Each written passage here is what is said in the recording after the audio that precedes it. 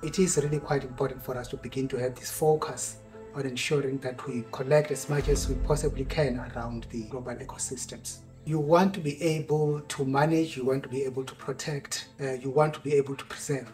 And you can't preserve or protect or manage what you don't know.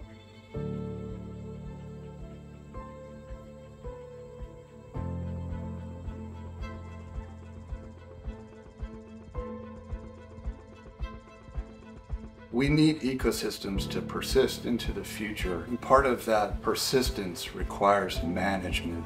And to manage ecosystems, we really need to know what they are. And the Geo Global Ecosystems Atlas is going to be a digital compendium where all that information about ecosystems comes together in one place to serve society.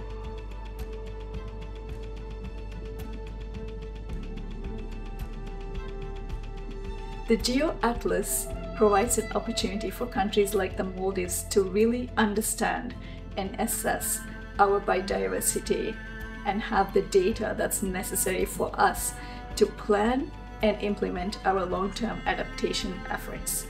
This is a matter of life or death for countries like the Maldives. The value of the Global Ecosystem Atlas is that it will ensure that all Pacific Island countries and territories have access to information that will help them make data-driven decision making in terms of environment monitoring.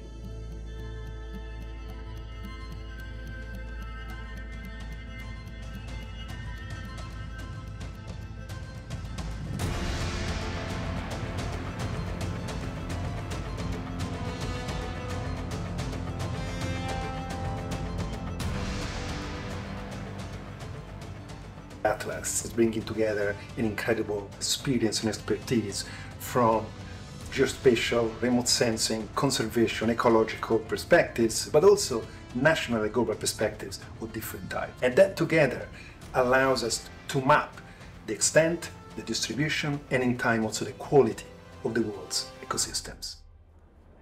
The Atlas is going to help governments, business, investors to contribute to a nature positive future. This is what we owe to our future generations and all life on Earth.